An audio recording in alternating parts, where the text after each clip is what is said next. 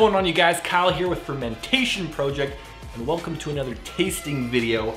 I have myself a glorious can of the Superflux Happyness. This is out of Superflux is out of Vancouver, British Columbia and they are putting out some beautiful beers. They are a force to be reckoned with in my opinion.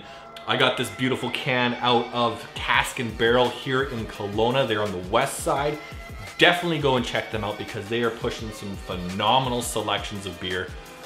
Quite the variety.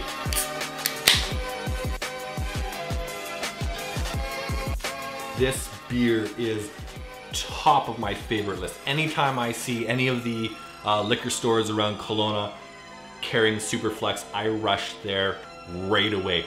These guys are pushing out some crazy experimental beers that you just have to try. Their use of hops is beautiful. And this one has a wonderful uh, pineapple mango tropical aroma and flavors. It's got that hint of dankness, it's got that bitterness, it's got a bit of a malt background.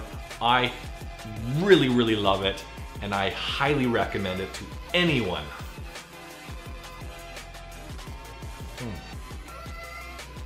Oh, I could have an entire pack of this in one sitting. I'm not a massive, let's quote, dank beer fan. I can admire it and I appreciate it. It's just gotta be balanced well. And that's why I really like Superflux is they really balance that hop dankness with the malt profile.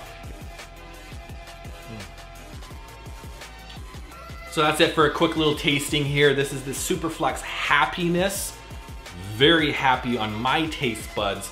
If you're an IPA or a pale ale fan, definitely try this. It's got wonderful tropical aroma and flavors, hopness. I cannot speak enough about this beer. So good, you gotta try it. Cheers guys.